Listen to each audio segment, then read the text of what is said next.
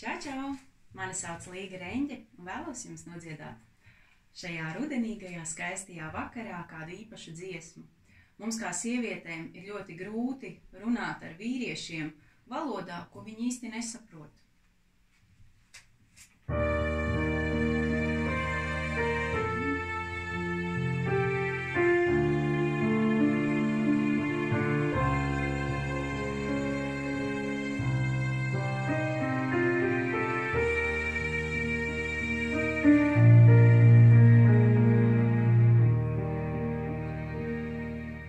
Aizved mani uz slīpnes siliem, kad tur sīlā pūrenes iet.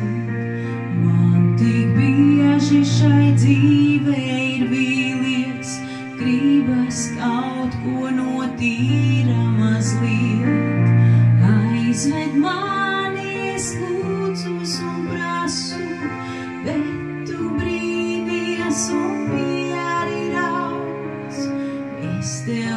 tev liekos kā meitene maza, kurai aplam daudz vaļas ļaus.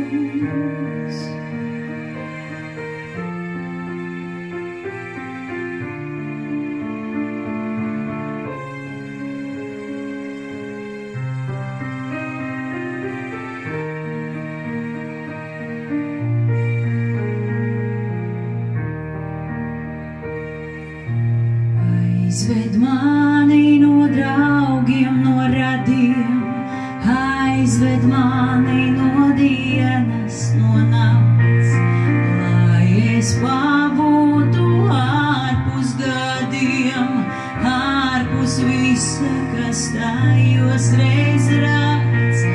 Aizved mani, es lūdzos